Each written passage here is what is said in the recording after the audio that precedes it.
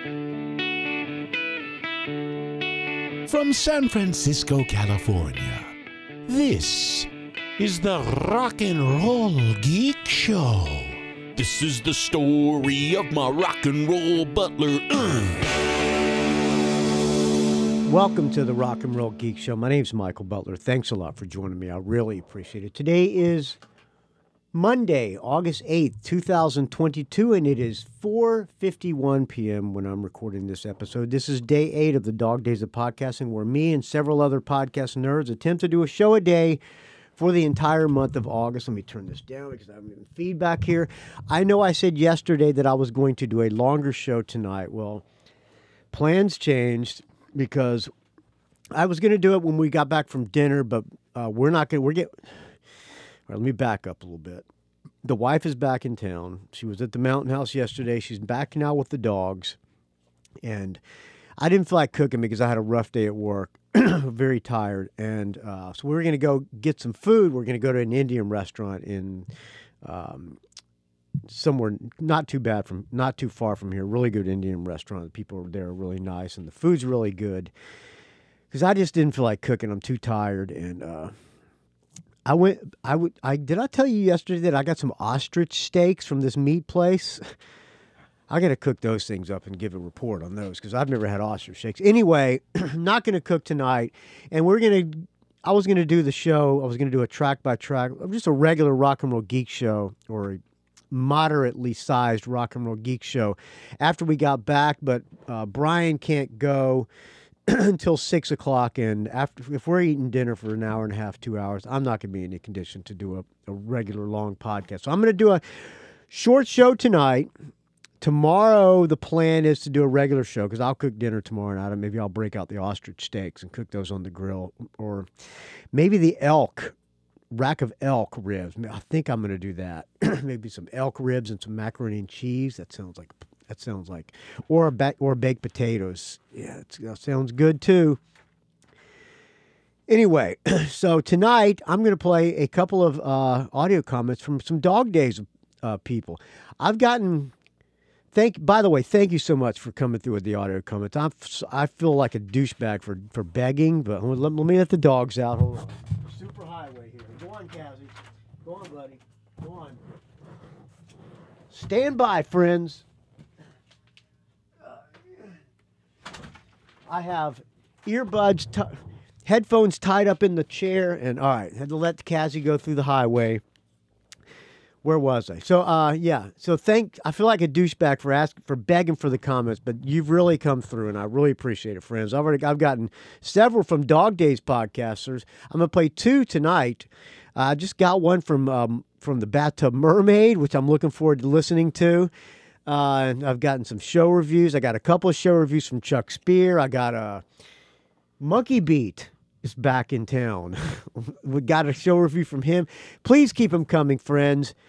Email them to me, rockandrollgeek at gmail.com. Record them on your phone. Uh, one of these, uh, Melissa's was a, was it Melissa? The Bathtub Mermaids was a Skype call. So was this one when I'm, when I'm going to play now.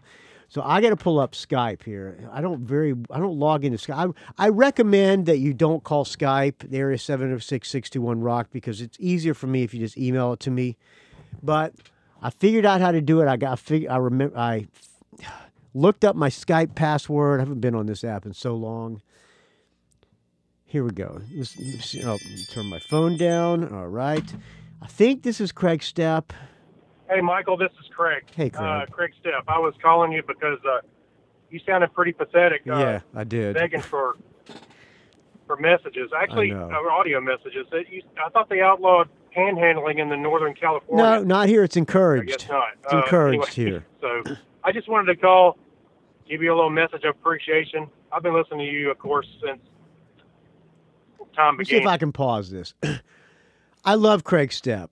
I like listening to his Dog Days of podcasting because, like uh, the next one I'm going to play, there's no pretense. He just he just talks. He's not an egotist. He's not a, uh, trying to put on like a um, persona like some like the rock and roll geek douchebag. He's not uh, trying to be funny or anything like that. He just gets up there and talks and, and speaks from his heart, and I admire that. So thank you, Kreg Steppe. Now let's see if I can continue where I left off on the Skype because I don't know if this works. And Oh, good. uh, and I really love listening to you open those books. I didn't know you could read. I can't. They're picture uh, books. um, I'm kidding with you. I shouldn't They're be all- picking on you that hard. Should yeah, I? they're all uh, they're all books on tape. yeah. Anyway, so uh, I just wanted to tell you I appreciate, I love listening to you. I have been a listener throughout the years, Well, thank you, friend. and um, I know you're lying, that but that's okay. sticks out in my mind, and I probably should have told you this a long time ago, was I flew out to California to see my mother-in-law, and I think it was on the way back. It was like right at right at Christmas time. You flew to see your mother-in-law, and you lived to tell the tale, Kreg Steppe. Um, I was heading back home, and I had stacked up several podcasts in my uh, my audio player. Wasn't an iPod. It is an iPod, and it was uh, you and your daughter on a Christmas episode. And I remember listening to you guys as the, plane was taking off, just thinking one how cool podcasting is, and and how cool it was, how nice it was to hear you two talking uh, about Christmas stuff. Anyway, um, The good old I also remember days. you going on that year when Martina lived here. Ah, the, I miss those days when she was a little kid, and I can't wait till the uh, granddaughter gets older. Hope I'm still alive then. Uh, Back to you, Kreg Steppe. European tour and recording a bunch of stuff A there European too. Tour, yes. That was a lot of fun. yes. Anyway, I love you, brother. Keep files. podcasting and um, talk to you soon. Bye. Thank you, Kreg Steppe. All right, I got another audio comment from Mad Marv. Now, Mad Marv is possibly with him and Amy Bowen, my two favorite Dog Days shows. Something is very endearingly nerdy about both of them, and I love them both. I, I every time I hear them talk, I smile. So I can't wait to hear what Mad Marv has to talk about on the Rock and Roll Geek Show. So thank you so much, Mad Marv. Oh, hold on, Hey, hold on, Mad. Hold on, Mad. I got to let the dogs in. This is really getting out of hand with these fucking dogs. All right, in or out? All right, back to you, Mad Marv. Marv, uh, I was listening to Oh, a wait a show minute. about. Back, uh, hold on. Let me back you up, Mad Marv. Hey, Michael, this is Mad Marv. Uh, I was listening to your show about uh, cooking that pig Yes. for the luau you were having. Uh, yeah, that reminds me of when I was in high school. I used to work for a Chinese restaurant. I think Mad Marv is in Hawaii, where um, where they cook pigs routinely. And they'd have from time to time people bring in whole pigs to roast in their oven uh, for a party. And it's not this, quite the same as the imu style. And yeah, I don't know if you got away easy or harder work when you uh, had that uh, pre-made oven. Because if you did the traditional way, I'm wondering if you would have had to dig that three to four foot deep hole. Yeah, I did not want to do that. I explained that on the. Um, yeah, I, that's what my brother-in-law asked me to do, and I said, "Well, I don't think I can do that." That's why we got the um, the chiakichi, whatever that thing is called, the sm- the cooking box. a pig in the ground. So uh, I think you came out better on that end if you don't have to do that, and all you have to do is load in a bunch of coals from time to time. Yeah, But anyway, yeah, four to six hours sounds about right compared to what I remember seeing the cooks do. And the way they explained it to me is just like roasting a turkey. And I know turkeys can roast for about that long. And when you're done cooking it, uh, you carve it up just like a turkey. And I remember some uh, clients uh, of the restaurant, they would ask us to chop it up for them too. And, you know, it's an extra charge. But you worked at a Chinese restaurant, Mad Marv. So, are you Chinese? I don't know why. I just thought Mad Marv was a. Um, I picture Mad Marv being. I have no idea what his uh, real name is. I picture Mad Marv being just by listening to Mad Marv. I picture him being uh, about my size, about 150 pounds, and uh, short hair on the sides, maybe a little curly on top, and glasses, and Irish. That's what I picture him. I don't know why. It was kind of fun. I mean, Let me know, Mad Marv. You just, you don't have to call if you if you don't want. You know, you you can if you want. You're welcome to call anytime, but uh, say on your show or something what your nationality is or what if I if I if I'm any any clo- any if I'm at all close in my uh, imagination of your description. I have a feeling that I'm not. Uh, I, at the restaurant, I was in charge of chopping up, uh, you know, ducks and chickens and occasional Hey, pork. There's an art to because I go. There's a place down the street from me, Marv, uh, that has the best roast duck in San Francisco, possibly on the West Coast. And those guys who chop those roast ducks up, there's an art to that. That's that's something to be uh, admired. not the whole pig, but you know, pork bellies and all that. It was fun for a time, and uh, yeah, glad that time's behind me now. But uh, hope you had fun at your party. I had a blast. It was a great time. Thank you, Mad Marv. I appreciate it. You too can leave me an audio comment, email it, or call, record it on your phone. Sounded like Mad Marv could have been in the bathtub with the bathtub mermaid. I don't know. It sounded like it was a bathtub call. But uh, if you ever listen to Phil Hendrie, Phil Hendrie show, the podcast, Phil Hendrie podcast, he has he has he this it's I'm going to explain who Phil Hendrie is again for people who don't know. He's this guy who used to be on the radio and he would and he um, would have these people call in with these really controversial topics and and it would get the listeners so incensed. He had guests on that, that had these really controversial topics, and it would get the, the listeners so pissed off they would call in and start yelling at these people, and the and the guests would like berate the callers. And uh, turns out the call the guests were all voices done by Phil Hendrie. So now he has a podcast with all these um, characters on the show that he does the voices of, and sometimes the character is calling in from the bathtub.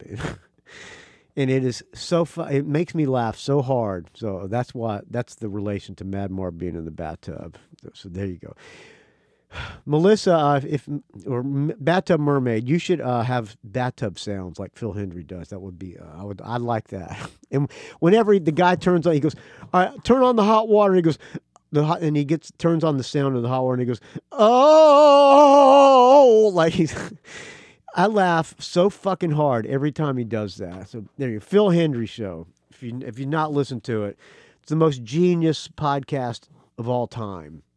All right. Thank you for those two audio comments, Kreg Steppe and Mad Marv.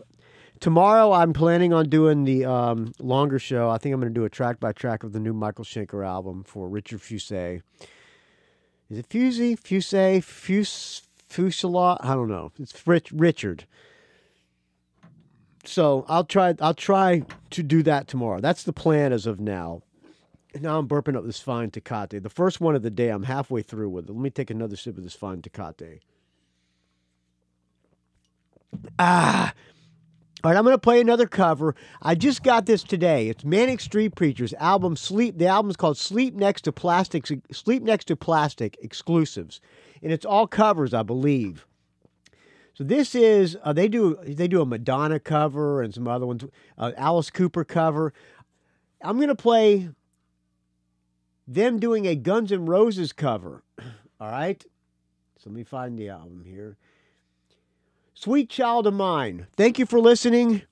I'll talk to you tomorrow with day nine of the Dog Days of Podcast. And this this month's flying through, man. The old like Steven Tyler said, life is like a roll of toilet paper. The older you get, the fast what is it? What is it? Uh, life is roll like a roll of toilet paper. The closer do you get to the end, the faster it goes. I think something like that. Whatever. All right. And the older you get, the more senile you get too, and you forget the jokes. All right. Here's Manic Street Preachers doing Guns N' Roses. I will talk to you tomorrow, friends.